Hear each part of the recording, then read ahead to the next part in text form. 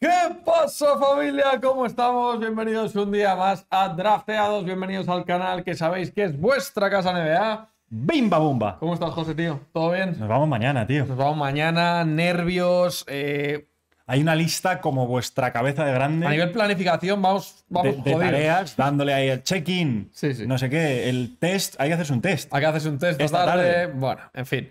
Eh, chicos, sabéis que ayer fue día grande. Anunciamos que nos vamos a Cleveland. Lo anunció José Manuel Calderón, Lo anunció José. Manuel Calderón, cuidadito. Y eh, antes tenemos que deciros, bueno, os vamos a dejar aquí los mejores momentos de un directo que hicimos ayer espectacular con Anthony Daimiel y Guille Jiménez. Aquí se han juntado dos generaciones. Tú dijiste mucho de los cuatro fantásticos, que es una cosa que me gusta. Hombre, está feo decirlo nosotros de nosotros mismos, pero sí, es un poco esa idea. Bueno, un ahí crossover. está. Pero antes nos tenemos que decir tres cosas. Uno, eso, bombazo, nos vamos a Cleveland. ¿Qué más queréis? Y nos vamos, por cierto, gracias a los amigos de Dominos que nos han ayudado un montón eh, con un montón de cosas que tienen que ver con esta aventura. De hecho, lo de ayer es el primer show de los más despiertos. Que vamos a hacer un vídeo allí con ellos y vamos a hacer también un directo a la vuelta. Correcto. Que Vale. esto es un poco como el- la acción que tenemos con ellos, ¿no? Hacer un programa que se llame El Show de los más despiertos. Junto con, cuidadito, va a haber cinco años de pizza gratis que se van a sortear entre los más despiertos, los que estéis más atentos a los vídeos que vamos a hacer desde allí, desde Cleveland. Habrá en cada vídeo una pista, luego habrá un cuestionario. Correcto. En fin, los que estéis atentos y veáis los vídeos, optaréis a un año de pizza gratis. Que se dice pronto. Además, tenemos una oferta que va a salir aquí. Eso ¿no? es. Debe estar saliendo ahí ahora mismo. Que ayer nos preguntaba mucha gente, oye, ¿tenéis ofertas en pizzas? Toma, ofertas en pizzas 50% de descuento. hasta el día 28 de febrero. DP drafteados que para el fin de que estéis viendo el All-Star aquí en España, tal, Fíjate. os va a venir que flipa. Planazo. Y con esto os dejamos con los mejores momentos de ayer del directazo que hicimos con Anthony Damiel y Guille Jiménez. Os queremos, bestias pardas. Nos vemos, chicos.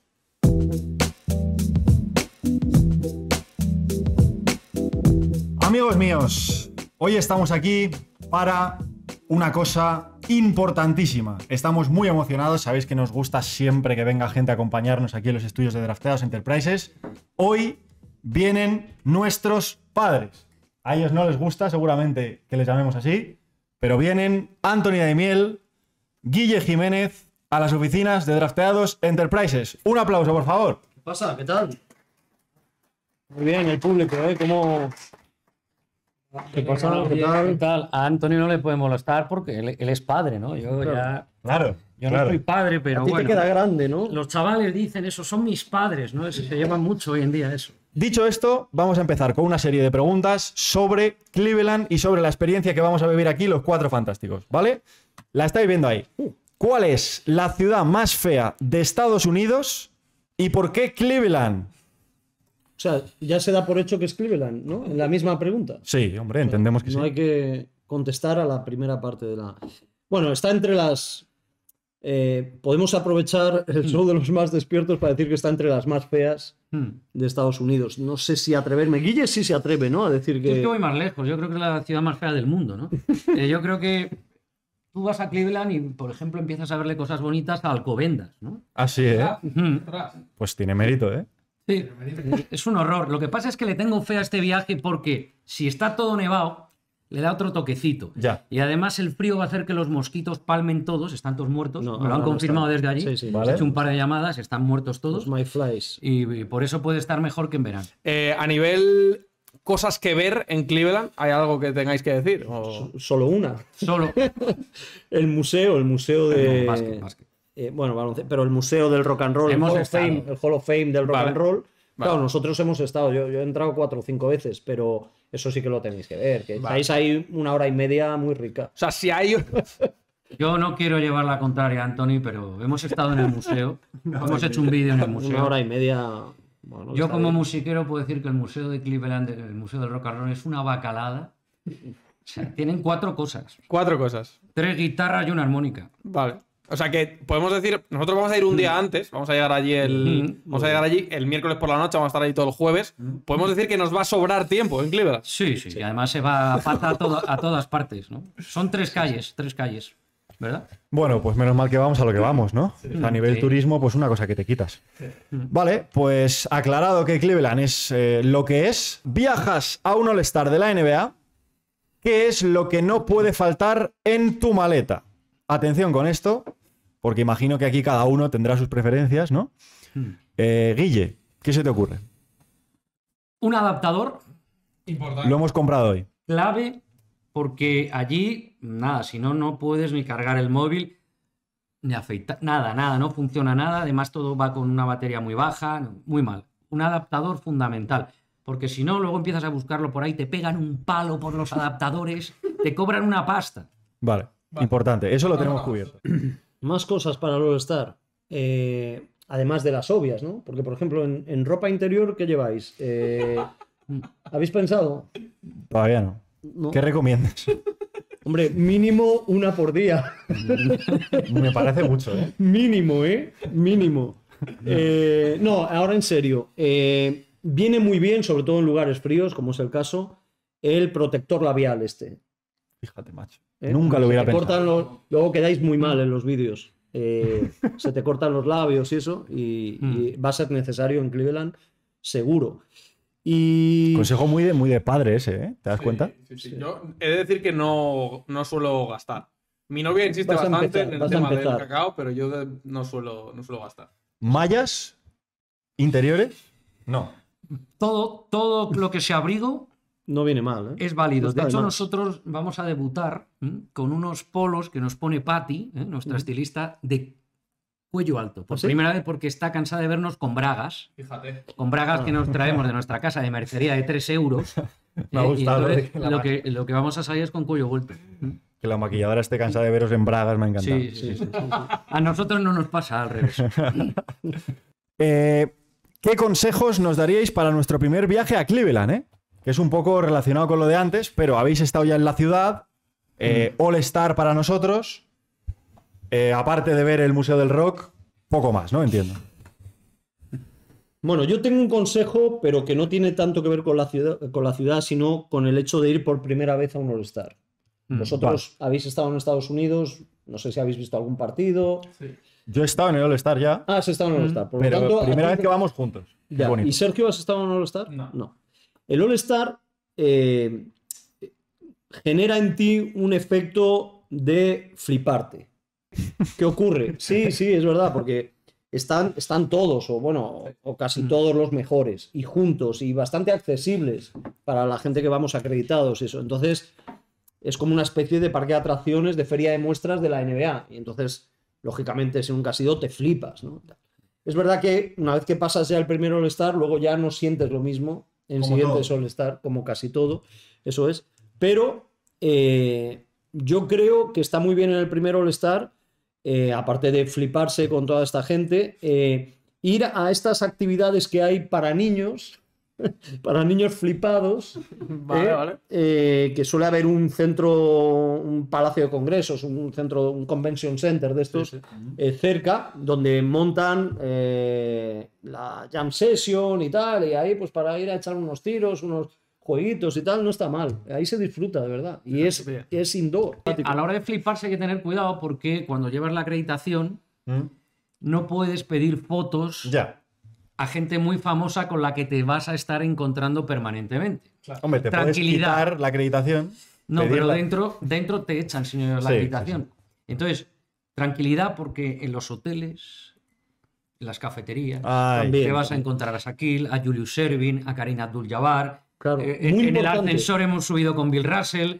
Tranquilidad. Muy importante en este All-Star van a estar la mayor parte de los grandes jugadores históricos de la Mm. liga que están vivos van a estar allí, porque seguro que hay algún acto Mm. eh, por lo de la lista de los 75 mejores Claro. y seguramente muchos van a estar hospedados en el mismo hotel. Por lo tanto, Mm. si no os compráis la botella de agua y salís a medianoche por el pasillo de Moqueta buscando agua, os podéis encontrar, A Charles Barkley, por ejemplo. claro, o a Oakley Sí. O a Oakley. a las 5 de la mañana. O sea, que podríais... No sé si me apetece, Anthony. No sé si me apetece. Esto os lo contaremos al volver. A ver a quién nos hemos cruzado, a ver con quién hemos hablado, a ver qué fotos han salido. Eso será del, del directo de vuelta. Le vas a dar al botón otra vez, ¿no? Le voy a dar al botón para, Si no, vale. para una cosa que me interesa mucho, que Cuidado. es entrar ya en temas de pronósticos. ¿eh? ¿Quién es vuestro favorito en el concurso de triples? Además, fijaos que vamos a meter aquí rápidamente para que no, por si no los tenéis frescos. Sí, Fíjate, Los tenemos, pero. Está. además salís cada uno a un lado, ¿eh? que es bonito esto. Eh, Desmond Bain, Kenar, Lavin, McCollum, Mills, Towns, Van Vliet y Trey Young. Ojito, ¿eh? Yo favorito. mm, Las- Notas de Anthony. Sí, sí, es que favorito ahora os voy a contar. no lo tengo claro, pero voy con Van Vliet. ¿Vale? Porque él no está drafteado. Vosotros sí estáis drafteados. Correcto. Pero él va a jugar el All-Star sin estar drafteado, algo que es absolutamente milagroso. Voy con Fred Van Vliet. Me gusta. Sergio, ¿tú quieres? Buena apuesta, buena apuesta de Guille, sobre todo porque además yo creo que a Van Vliet, eh, en esto, como, como dice Anthony, están los periodistas que van de flipados, que vamos a ser un poco nosotros, y los que ya llevan muchos años y ya no van de flipados, que son ellos. En los jugadores yo imagino que pasa un poco lo mismo. Habrá muchos que estén ya, eh, pues están habituados, ¿no? A ir a este, al All-Star, a ir a este tipo de concursos todos los años. No es el caso de Van Vliet, y yo creo que Van Vliet va a ir muy flipado. Probablemente. Probablemente va a ir muy Va a flipado. estar haciéndose fotos, ¿no? Claro, sí, sí, sí. O sea, va- voy a intentar pedirle yo una foto a Oakley y va a estar Van Vliet pidiéndole la foto primero. Va a ser un poco ese rollo. Yo, eh, si tuviera que apostar por alguno, así De primera. de primeras, diría Zach Lavin. Ahí está. Yo voy a ir eh, con Carl Anthony Towns. Oh, Rompiendo un poco, ¿eh? Claro, los que sois altos, vais con Carlito. los altos. Esto siempre ha sido así Sí, sí. y siempre va a ser así. Eh, quiero preguntarle a Anthony, eh, o sea, en las notas tienes los porcentajes. No, no, es que. ¿Vienes preparado es que- es hasta que ese es punto? tremendo esto. Es tremendo. Porque mucha mismo lo gente dice. piensa, sí, mucha gente piensa. Eh, eh, Daimiel y tal, con todos los años que lleva, pues es un poco farsante y tal. Parece que. Ah, sí, Hay gente que, piensa trabaja eso. mucho y tal, sí. Pero, en realidad, están en lo cierto. Pero para mantener la farsa, Hmm. de vez en cuando hay que trabajar un poco. Entonces yo, ya como adelanto a lo que tendré que hacer la retransmisión del sábado, Fíjate. me he sacado porcentajes y muchas cuestiones sobre los participantes en el concurso. No os voy a eh, volver locos ahora con esto. Si tenéis alguna duda me podéis preguntar, por supuesto. Porque tengo porcentajes desde la esquina izquierda, esquina derecha, posición central, con el defensor a 3 metros o más, eh, lanzamientos de 3 sin bote, catch and shoot, eh, cuando quedan eh, eh, un segundo o dos máximo de posesión. eh, Bueno, bueno, esto es todo esto, ¿no? Esta hoja ya te vale para el sábado, ¿no? Sí, sí, Por ya. lo has hecho en Hombre, realidad, claro, ¿no? claro. Me ha adelantado trabajo, la maleta. pero como ya la tenía, Claro. exacto. Hmm. Bueno, según esto, Después de toda la noche según mirándolo. esto, descartaría Ah, a Cal Anthony Towns varapalo. Lo he visto venir, lo he visto venir. y eh, van- digamos que esto me empuja a elegir entre Lavin. Lavin es muy bueno desde las esquinas. Y Van Vliet está ten- bueno, es el segundo que más triples mete después de Stephen Curry. Pero Van Vliet, el componente emocional, yo creo que él maneja muy bien la presión. Es decir, ¿Vale? la excitación la va a canalizar muy bien, en hacerlo bien, ¿Vale? en concentración. Así Me que gusta, me gusta tu Van. Vliet, eh, yo diría Van Vliet, y luego Trey Young, yo es que creo que las emociones le perjudican, fíjate. Así, Puede ¿eh? ser incluso mejor que, que Van Vliet, pero yo creo que le va a perjudicar la emoción a Trey Young. Bueno, es bonito esto de tener un candidato y que la estadística lo deje fuera desde el, desde el minuto uno. Ha sido esto precioso. Vamos a ir ahora con el de mates. ¿Quién es el? Te ha quedado bien los gráficos estos, ¿eh? Muy Ahí bien, con lo del bonito. show de los más despiertos. Esto lo ha hecho Sergio, ¿eh? que voy a- Se habla ¿Lo ha hecho poco. Sergio? Sí, sí. ¿Mm? Se habla bastante poco de este asunto. Eh, voy a poner los ¿Cómo candidatos. os lo curráis, eh? Se va Sergio Pero Andrés. Sergio se- le ha apoyado la presión, ¿no? le ha apoyado la presión y se ha ido. Ahí lo estáis viendo. Ahí está. Son Hmm. Cole Anthony, Juan Toscano Anderson, Jalen Green y Obi Toppin. Obi Toppin, ¿eh? Es que Topin mola el nombre, ¿no? Ese Sí. topito pequeño, ¿no? Es Topin. Obi Toppin ya estuvo el año pasado y tal, se le escapó. Tengo duda aquí, Anthony. Sí. Eh, ¿Hay estudio también del concurso No, de no, mates? no lo he hecho, pero lo, lo puedo No, hacer, ¿eh? Pero ahora mismo, ¿no? Haré- Tienes la no, tablet ahí. Mm. No, no, pero ahora no, pero se puede hacer algo de, de estudio, poco. Eh, yo creo que aquí cuenta más la psicología. ¿eh? Lo que te parezca el jugador también en cuanto a emociones, Coincido. atrevimiento, creatividad. Sí. A ver, los cuatro son buenos matadores, siempre luce mucho el pequeñito, ¿no? En este caso Cole Anthony, pues... Eh, Es muy bestia, además, ¿eh? Pero hay, no, no sé si habéis llegado a la misma conclusión a la que llegué yo hace años, y es que el jurado nunca espera la repetición. Ya. ¿eh? O sea, busca la puntuación con la imagen en directo, y es Ya. un error de parte del jurado. Sí, sí. Mm. Soy muy antijurado en concursos de mates. Eh, bueno, decid vuestro No, yo, yo apuesto por Jalen Green. Jalen Green. Porque es un flipado. A mí me parece un flipado, no las mete, no las mete, pero la verdad es que tiene dos piernas impresionantes. ¿eh? Sí, sí. Es un flipado Cole Anthony también. Yo, respecto a lo que decía Anthony del tema de los, de los bajitos, aquí tenemos los dos casos, porque Cole Anthony, digamos que es bajito para el concurso de mates, y Topin es grande. Topin es grande. sí. A Topin se le ve, se le ve grande ya cuando va. O sea, va muy sobrado. Muy sobrado.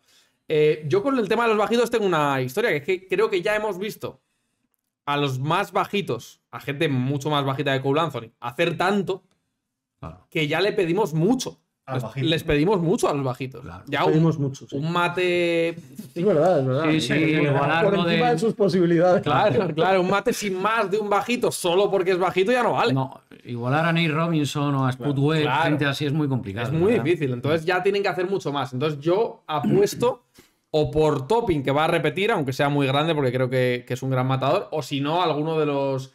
La verdad es que lo de Toscano me pilla un poco. Me pilla un poco fuera de juego. Yo diría Jalen Green también. Yo me sumo a lo de Guille, yo diría Jalen Green. ¿Cómo huele, eh? Yo ta- Está sí. empezando a oler bien. Está empezando a oler bien en la oficina. Ahora os contamos por Eh, qué. Dilo, o sea, en la próxima pregunta tengo que ir a cambiar una batería. Vale, ¿Vale? pero ahora mismo, ¿no? Bueno, entonces, eh, tú has dicho favorito, ¿no? No, yo Jalen Green también. Jalen Green. Oh, también. Sí, es que, es que le veo le veo flipándose y que le salga bien en ¿no? este caso, ¿sabes? Claro. Como también, hundiéndola fuerte, como igual. es- me- creo que puede ser muy estético. Es muy estético. Es muy- Jalen sí, Green. sí, sí, sí. De- eh, los demás hay Es alguno que le explosivo veo más y tosco, tiene pero. brazos largos. eh. Sí. Yo voy a decir Toscano. Fíjate. Porque- Fíjate. Porque yo creo que va a contar, no sé, no he mirado si ya hay valores eh, de, de- de expertos en Las Vegas sobre apuestas y eso, pero Se puede. yo mirar. creo que, que es la Cenicienta, cosa que no le pega, ¿no? El personaje de la Cenicienta no pega con Toscano Anderson. La verdad es que no. Eh, pero Toscano Anderson. eh, Es un poco Van Vliet para esto, ¿eh? O sea, que Sí. va contra. Es típico que y va habrá contra. pedido consejo a sus amigos de la niñez en Oakland, ahí de la calle y tal, ¿eh? Cuidado, ¿eh? Sí. Cuidado con este. Estamos mirando en directo. Muy fuerte, muy potente en el mate, Sí. muy explosivo. A ver cómo están las odds ahora mismo. Las odds. Las Las odds. odds, ¿eh? Las odds, pues las odds dicen que Jalen Green. Sí, ¿no? Odds. sé- Claro. no Es la- Pero me ha dejado pensativo, Anthony. Sí. Con Toscano, sí. Con Toscano me has dejado, sí. ¿Te quieres cambiar igual? no, no, no me cambio, pero. Jalen Green, dudar. Obi Toppin, Cole Anthony y Toscano el último. Cenicienta. El último. Toscano. Vamos. Vamos con Toscano, Vamos, ¿eh? don Juan. Va a ser bonito esto. Eh, vale, vamos con quién ganó el draft del All-Star y os vamos a preguntar si os gusta el formato y quién tiene mejor equipo. Sí, pu- puedo poner para que la gente se haga la idea. Ahí está Ah, el, Los equipos, sí. el Team LeBron con Giannis, Stephen Curry. Aquí sí que hay notas, ¿eh? Sí, Aquí sí que hay tengo, notas. tengo notita. DeMar DeRozan, Jokic, Butler, eh, Doncic, Garland, Harden, Donovan Mitchell, Chris Paul y Van. El tema de Harden, eh, vamos a verlo, ¿no? Ahora lo vamos a hablar esto. Sí, hay que hablar. Y tenemos en el Team Durant a Joel Embiid, Morant, Tatum, Wiggins, Trey Young, Lamelo, Booker, Gobert, Green, Lavin, Middleton, Murray y Towns. Ojito, ¿eh? Hombre, son dos muy buenos equipos, evidentemente. Pero a ver qué opinan aquí los fenómenos. Guille resopla mucho. Sí, es Eh, que al final, no sé, casi apetece que gane el Team LeBron ahí, ¿no? Me gusta más, pero, pero es los jugadores que se lo van a, a- a tomar más en serio, ¿no? Tiene demasiados, digamos, pesos pesados el, el Team LeBron. LeBron, Curry, Anteto, tal. Y no sé si se lo van a tomar tan en serio como los otros. Ahí creo que yo que está la clave más que en, en la calidad de unos y otros, ¿no? Pero a mí me gustaría que ganara el Team LeBron. yo lo que. Bueno, tú tienes algo. Iba a decir, el Team LeBron no ha perdido, ¿no? No. Estoy- Lebron, desde que tenemos este formato de los capitanes, siempre ha ganado Lebron. Claro. Cuatro veces, cuatro Mm. victorias. Yo es que eh, creo eh, que Durán, sinceramente, elige. A Durán le pasa un poco. Durán, sabéis que es un flipado del baloncesto tremendo, que es un friki exagerado. Eh, y yo creo que aquí le pasa un poco eso. O sea, que él tiende a, no, voy a coger a estos jugadores porque son los que van a defender, los que van a. eh, y coge un equipo, digamos, más compensado, ¿no? Pensando más como en, como en un partido de baloncesto. Y yo no sé si esto es tanto un partido de baloncesto. eh, lo es en parte, evidentemente, pero aquí muchas veces pues es una racha de carry. Eh, Anteto es que simplemente andando por la cancha en un partido en el que no se defiende al 250%, eh, puede meter 50 puntos. Andando. Entonces yo no sé si Durant se pasa un poco de flipado aquí con las elecciones. Es mi sensación. Es posible, es posible. Yo estoy de acuerdo con el Team LeBron también, ¿eh? Yo voy con Guille, no voy a ir en contra de LeBron en ninguna estadística y si va 4-0, eh, yo estoy ahí subido. Sí, yo, yo creo que también en las odds, ¿no? en, la- en las valoraciones de, de expertos en apuestas y tal, Sí. va a ser gran favorito el Team LeBron. Mm. Por varias circunstancias. Primero por esa estadística, porque LeBron drafteando es bueno. Claro. ¿eh? Lo lleva haciendo toda su carrera. Es, es muy bueno. Y, y luego también eh, hay una sospecha, yo creo bastante fundada, y es que eh, se juega en Cleveland, que es la tierra de LeBron. Sí. Ay, ay. 75 años de la NBA, no sé, pega y además tiene tres MVPs. ¿eh? y con uno más igualaría el récord de Kobe, por cierto. Eh, Son muchas cosas. claro, Son muchas cosas. Con el premio Kobe Bryant.